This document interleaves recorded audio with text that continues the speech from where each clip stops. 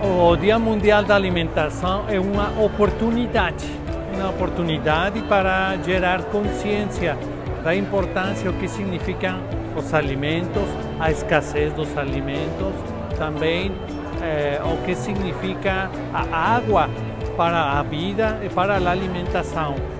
Temos que estar cientes dessa importância e também cientes de usarlo, utilizarla de maneira racional nas casas, nos lares, eh, nas escolas, nos sistemas agrícolas, nos sistemas de produção, na indústria em geral. Temos que gerar muitos esforços a nível das cidades para aproveitar melhor o uso da água e também na agricultura. Temos um desafio tecnológico para utilizar melhor esse grande recurso que é a água. Neste ano, decimos para todo o mundo que a água é vida, água é alimento.